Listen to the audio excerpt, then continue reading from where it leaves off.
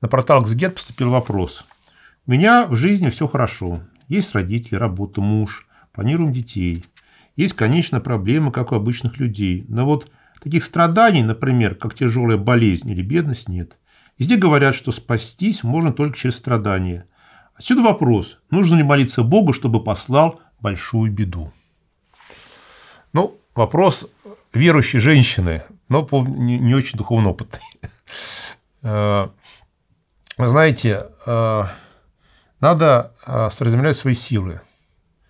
Не всякую беду мы сможем выдержать.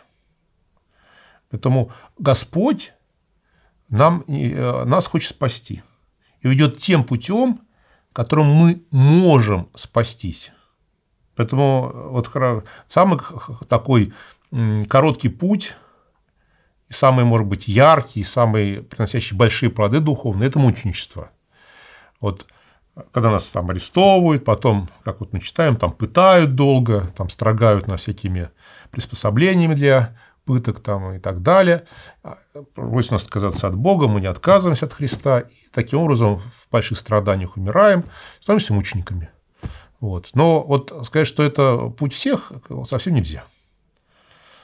Даже когда вот в первые века, когда э, христиане были очень такие горящие, им запрещено было сдаваться властям, потому что многие из них, когда действительно уже шла речь о мучении, уже их мучили, они отказывались от Бога, потому что они не имели таких духовных сил. Но надо предаться воле Божьей. Хорошо, что вот так вот настроены, э, по-христиански, готовы на какие-то трудности, но надо предаться воле Божьей. Вообще трудности на самом деле будут. Сказать, что вот вся жизнь будет вот как в Царстве Небесном, э, ну, так не бывает. Какие трудности они будут. А, бывает оно в юности, в молодости, в зрелости, в старости. Ну, рано или поздно не появится в той или иной степени, поэтому не волнуйтесь. В этом плане мы можем не волноваться. Вот. А, но самим искать трудности, были молиться, да, святые молились о неизлечимых болезнях, там, ора, что брак Господь послал, там, еще что-то. Но цветы. Они имели силу, они имели дерзновение. Наше дерзновение будет, боюсь, такое не по разуму. И а, вот я вам расскажу вам э, собственный, так сказать, опыт, когда воцерковился, был неофитом, молодым таким, горящим. Я вот раз подумал, что о чем мне здесь делать? Надо к Богу собираться тоже. Что? Я молодой, а, еще без жены, без детей. У сестры как раз муж есть, ребенок есть, то есть родители мои останутся не то что одни на этом мире. Надо как туда потихоньку подгребать. Вот мне послал Господь очень сильное травление, когда там терял сознание, там всякие, так сказать, судороги и так далее. И я понял, что я могу сейчас умереть. Вот. И я понял, что я совсем к этому не готов внутренне. Вот. Поэтому мне Господь так вот вразумил таким, ну, на самом деле, очень мягким путем, что там несколько часов страданий. Ну, и потом в больнице полежал, но там уже хорошая пища, еще советское время было.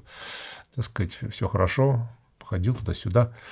Вот, а, вот а, так что лучше вот так вот не думать, а просто быть готовым к трудностям. Потому что если вот вы планируете детей, так выражайте детей. Вот будет и радость, и одновременно определенные трудности, да, которые связаны с деторождением и Э, с, потом с воспитанием ребенка. Будет, э, поэтому буду, по поводу будет, будет беспокойство нормальное совершенно, которое надо, чтобы у родителей было.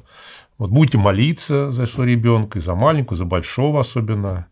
Вот, вот это, и это будет и путь Царства Небесный ваш, семейного человека да, через деторождение, как нам Священное Писание советует. Вот, и одновременно это будет путь к радости. Потому что, конечно, с детьми, детишками – а когда ты их как-то более-менее воспитал, это радостное общение. Вот. Так что я думаю, что...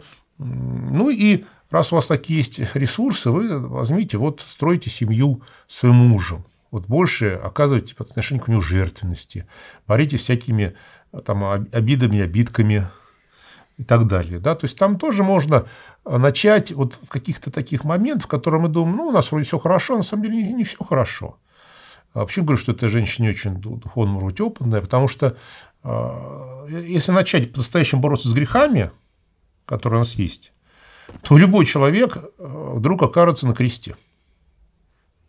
Любой.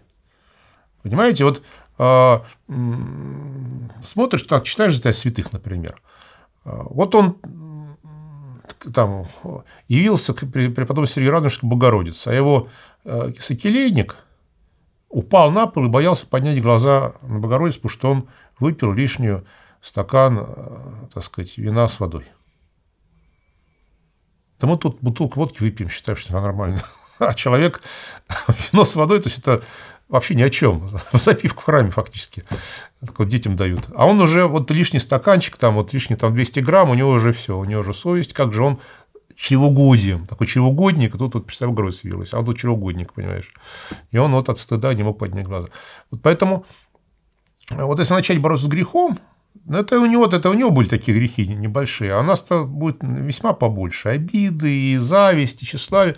Вот если начинать замечать это, то если вот не вера в Бога, то с ума сойдешь. В уныние впадешь. А вот, конечно, если ты веришь, что Бог пришел тебя спасать, и будешь молиться, будешь чувствовать, как тебя Бог через твою связь с Ним, через молитву спасает, да, это будет и крест одновременно, и одновременно э, путь к спасению. Вот, поэтому вот крест, он у нас у всех здесь вот недалеко, внутри. Внеси свой вклад, оцени, подпишись и поделись этим видео.